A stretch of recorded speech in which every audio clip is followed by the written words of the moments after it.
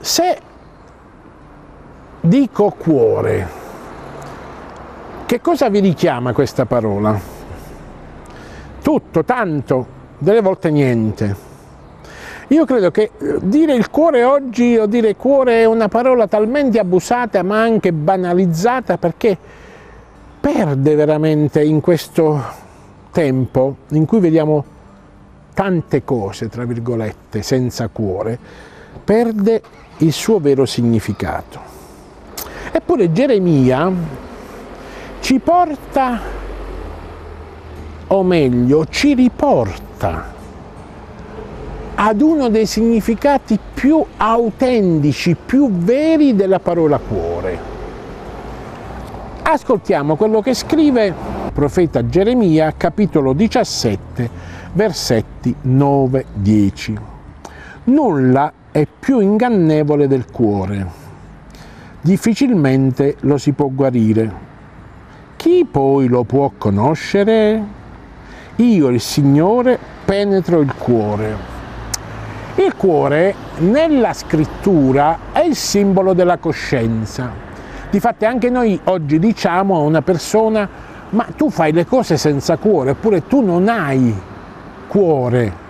Quando vediamo per esempio delle azioni, delle decisioni talmente disumane che appunto gli diciamo non hai cuore, che equivale a dirgli tu non hai una coscienza che ti aiuta a capire ciò che è bene è ciò che è male, che ti aiuta a scegliere ciò che è bene e ciò che è male, ciò che vale la pena fare e ciò che non devi fare. Ma il cuore è una, è una, è un, è una realtà veramente molto, molto, non solo oscura, ma anche molto difficile. Il cuore è qualcosa che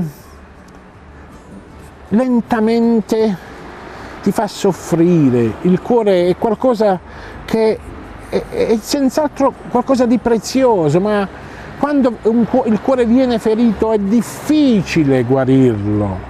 La ferita resta sempre, ma chi guarisce nel senso che dà forza al cuore è il perdono, per esempio. Quando il cuore è ferito dall'odio di, di una persona che si ama, dalla cattiveria di una persona che si ama, bene, quel cuore resterà sempre ferito, ma quel cuore riuscirà a, a, riprendere, a pompare tutto il suo sangue, cioè tutta la sua vita, tutto il suo amore, grazie al perdono, grazie al perdono. Il cuore, leggiamo al capitolo 37 del libro del Siracide, scuote e avverte un uomo meglio di sette sentinelle su un'altura, tese a spiare l'orizzonte, ecco la funzione del cuore come coscienza. Ma chi è che può cambiare il cuore, che può toccare il cuore, che può penetrare il cuore? È solo il Signore, è solo Dio.